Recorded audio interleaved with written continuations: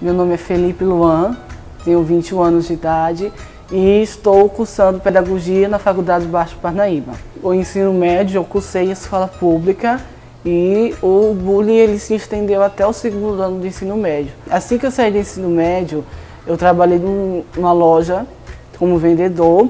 Em seguida, eu passei para uma outra clínica, já clínica odontológica, e no dia que eu vim fazer o vestibular agendado da FAP, eu acabei demitido, sendo demitido, mas eu consegui, mesmo assim eu fiz a matrícula aqui na instituição e graças ao financiamento estou aí cursando meu, meu curso prestes a terminar. Hoje eu trabalho em uma instituição escolar da rede privada e tem sido bastante significativo para mim. Eu percebi que o estudo, se eu tivesse desistido, hoje eu não estaria aqui. Hoje eu não estaria tendo essa mentalidade que eu estou hoje, porque a FAP me amadureceu muito.